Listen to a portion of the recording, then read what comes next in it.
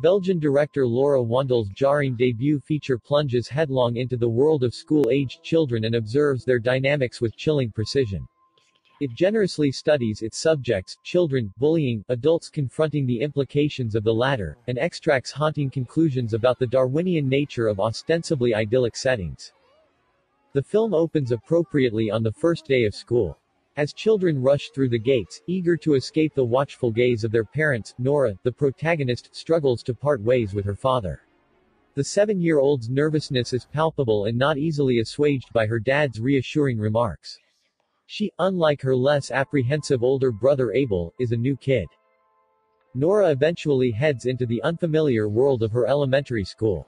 With the help of cinematographer Frédéric Noirhomme, Wandel shoots Playground from Nora's perspective, a bold choice rewarded by an intoxicatingly immersive narrative. The world looks different, more menacing, from the vantage point of a four-foot child. Adult bodies become gigantic, the crowded school halls, brimming with energy, are chaotic, the cafeteria is a jungle of implied social mores, and the playground is perilous terrain. After enduring her morning classes, Nora tries to sit with her brother during lunch only to be turned away by a teacher.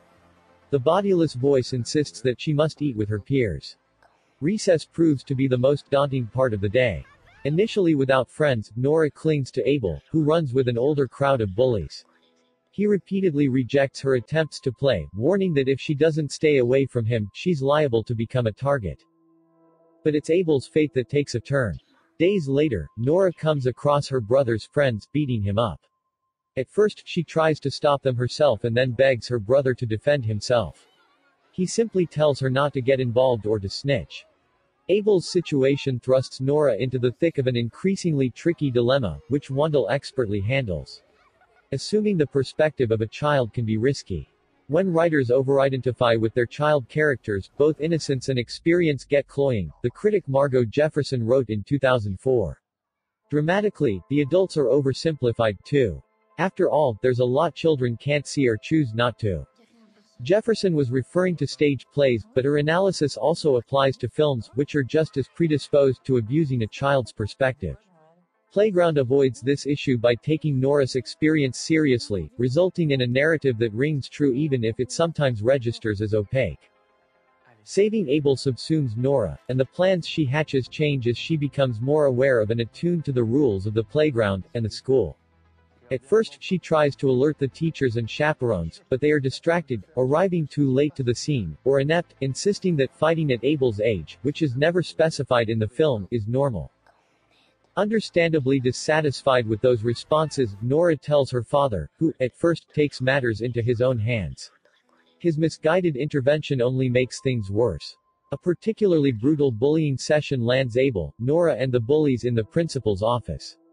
The confessions from the accused are labored and their apologies forced, but the adults feel satisfied and think, naively, that everyone will get along now.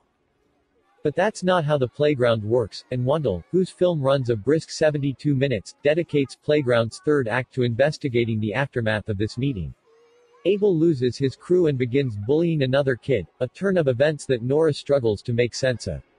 She, on the other hand, becomes a social pariah, losing the few friends she's managed to make because of her brother's reputation as a coward.